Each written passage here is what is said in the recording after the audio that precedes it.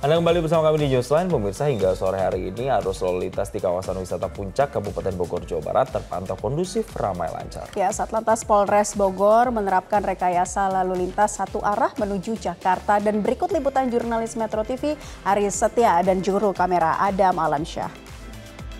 Kawasan wisata Puncak Kabupaten Bogor, Jawa Barat masih menjadi daya tarik tersendiri bagi masyarakat, khususnya untuk menghabiskan waktu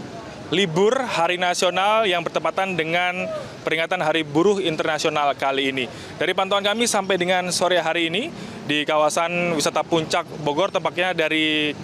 Simpang Gadok tempat saya melaporkan bahwa arus lalu lintas ini terpantau padat, bahwa saat ini Satlantas Polres Bogor sendiri masih menerapkan rekayasa arus lalu lintas berupa one way atau satu arah dari kawasan atas puncak ke arah Jakarta atau ke arah bawah. Dan dari pantauan kami tadi sekitar pukul 13 waktu Indonesia Barat dari kawasan wisata Megamas sendiri bahwa penerapan atau pembukaan jalur one way ke arah bawah ini dilakukan tepat di kawasan wisata Megamas dan imbasnya saat ini bahwa jalur alternatif khususnya yang mengarah ke Pasar Ciawi sendiri terpantau padat dan bisa dilihat di belakang saya saat ini bahwa antrian kendaraan yang didominasi kendaraan roda 4 atau mobil ini terlihat panjang sekitar kurang lebih 500 meter. Dan saya itu juga selain penerapan rekayasa arus lalu lintas berupa one way satu arah, di kawasan puncak Bogor ini juga diterapkan rekayasa arus lalu lintas berupa ganjil genap yang telah diterapkan sejak kemarin, yakni Selasa 30 April 2024 dan memang penerapan rekayasa arus lalu lintas ini adalah untuk mengurai kepadatan dan kemacetan yang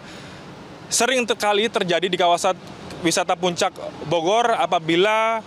memasuki momen libur hari nasional.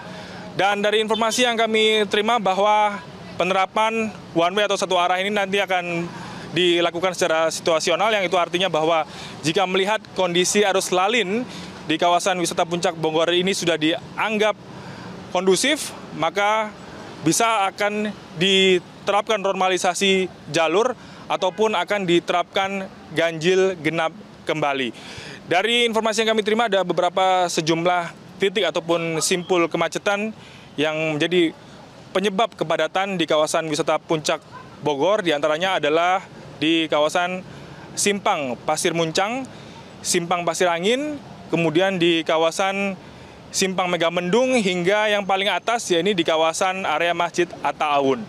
Dari puncak Kabupaten Bogor, Jawa Barat, Ari Setia, ada Malam Syah, Metro TV. Jelajahi cara baru mendapatkan informasi. Download Metro TV Extend sekarang.